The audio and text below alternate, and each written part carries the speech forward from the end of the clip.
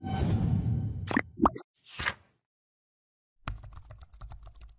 friends, in this quick tutorial I'm gonna be walking through how to do text to speech on Discord but before getting started this video make sure to subscribe How To 1 Minute.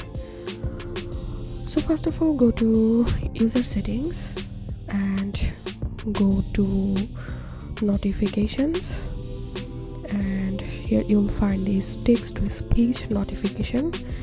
And if you want to get notification for all channels you can select this option. And if you want to get notification for current selected channel you can select this option. And if you don't want to get any notification you can select this. So i'm going to select this option from here. And after that go to text and images.